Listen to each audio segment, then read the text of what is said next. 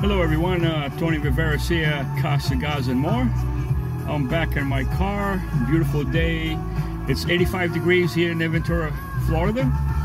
And uh, today I'm having a, uh, a Baccarat uh, cigar. Very mild. Um, smells smells good.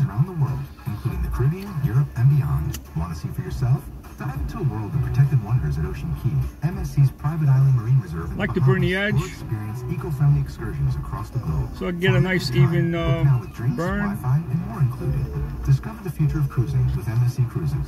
To book, visit msccruises.com or contact your travel advisor. Restrictions apply. I believe uh, this uh, Baccarat cigar is made in uh, Dominican Republic, but I'll know below on the screen, let you know.